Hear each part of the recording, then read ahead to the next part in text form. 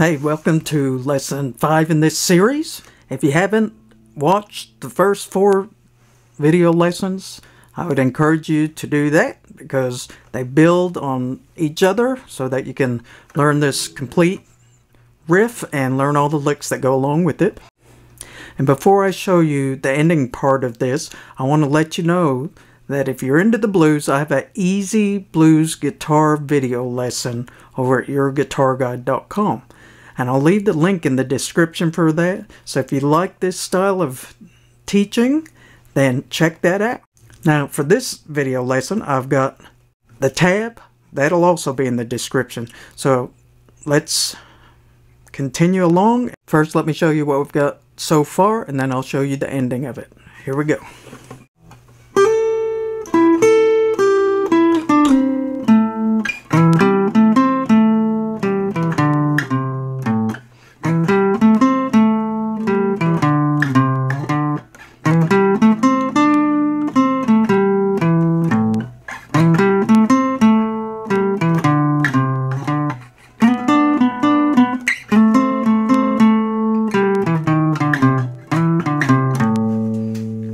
That's what we're going to learn right here.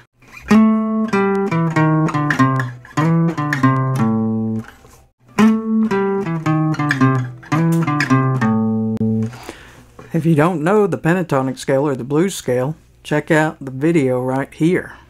We're starting on 5 on the D string, the 4th string, and we're sliding to 7. And we're going to 5 on the D string, 7 on the A string, the 5th string, then we're going six, five, three, all on the A string, and then sliding with your third finger from five to seven.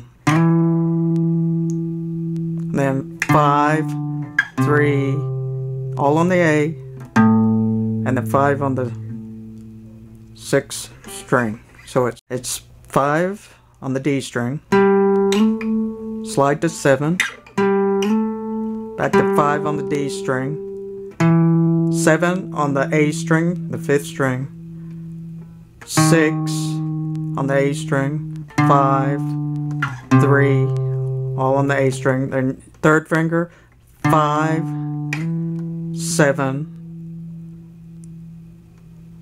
5, 3, 5.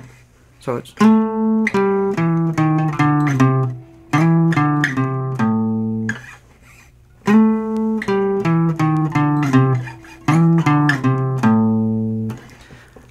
important you use the right fingers or you'll get all twisted in there. So it's third finger, 5 to 7 on the D string, 5 on the D string, 7 on the A. The rest of the notes are on the A until we end on the 5th fret of the E string. So it's 7, 6, 5, 3, 5 to 7, slide, 5, 3, end on the E.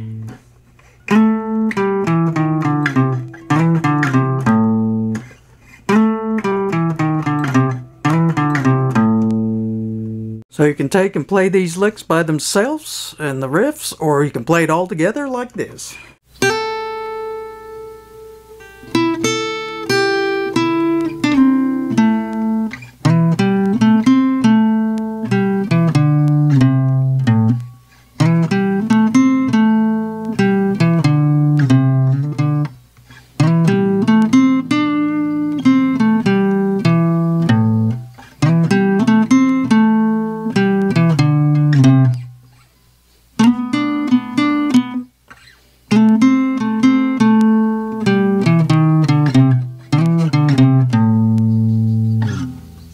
Don't forget to get the tab for this over at yourguitarguide.com and the link is in the description below.